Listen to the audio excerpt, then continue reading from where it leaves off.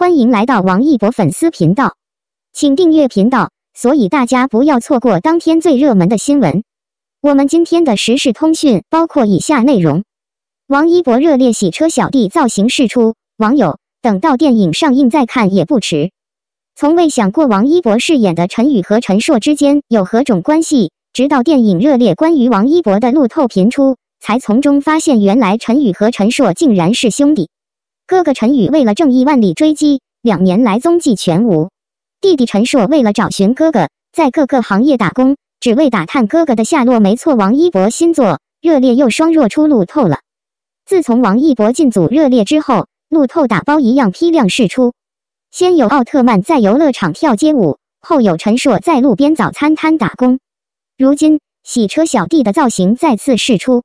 尽管洗车服造型也挡不住王一博的帅气，众网友也感叹陈硕生活不易，又是当街卖艺，又是洗车小弟，看着陈硕为了梦想努力拼搏，有笑有泪，有苦有甜。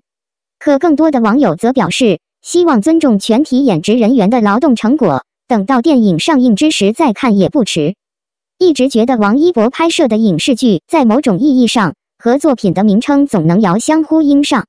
拍摄《无名》期间就对应了隐蔽和神秘，从开机到杀青，除了官方释出的几张海报以外，真就神秘又隐蔽的一点路透也没有。拍摄《长空之王》的时候，更是犹如在云层中翱翔一般，看不到一丝踪迹。可到了热烈这里，可真够热闹的。王一博在剧组忙着拍摄，网友在剧组外忙着放路透。真可谓戏里戏外都热烈，就是内心突然出现了一些小恐慌，害怕路透伴着拍摄进度走。等到电影杀青之时，王一博饰演的陈硕已经全部暴露在网友的视线当中。确实，因为王一博参加电影热烈的拍摄，使得很多喜爱王一博、爱看王一博跳舞的网友们关注起了这部电影。不仅在其拍摄场地周围活动期待偶遇，还有人报名当起了群演。当然。想要见偶像的心情可以理解，光明正大现的机会更是难得。可控制不住分享欲，不停在社交平台发布与拍摄有关的内容，却是不可取的。毕竟主创团队创作不易，演员精益求精的拍摄更不容易。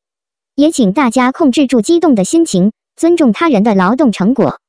其实可以理解，在拍摄场地附近见到王一博之后，所有的理智都被激动的心情冲散。根本控制不住想要分享喜悦心情的洪荒之力，因此，关于王一博在剧中的穿着、造型、场景等，都在无意之中被透露出来。可如果凑巧该场景被剪辑进了影片里，那么就是妥妥的剧透了。可能有些人会觉得这是小题大做，毕竟每个人都是只言片语，并不代表整部电影的走向和剧情发展。可是有一点要明白，一部电影也才一两个小时呀。尽管有些剧组为了提前预热造势，会示意站姐放出一些路透，以吸引人们的目光，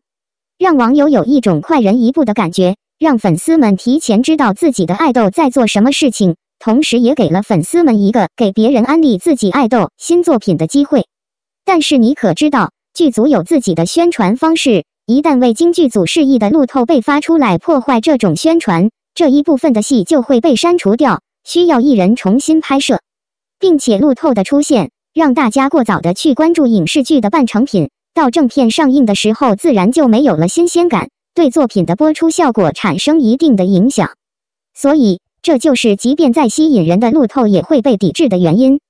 其实，大家相见王一博的心情可以理解，可是爪爪君认为，与王一博的最好见面，就是台上与台下，作品与观众的距离。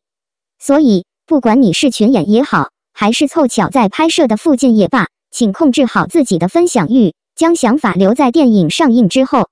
或许当时偶然的遇见与影片中呈现的略有不同，两个版本会让自己更好的理解影片的真谛，也有了属于自己的独特意义。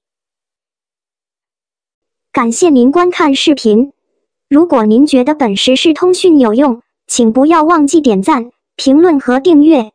谢谢大家，再见。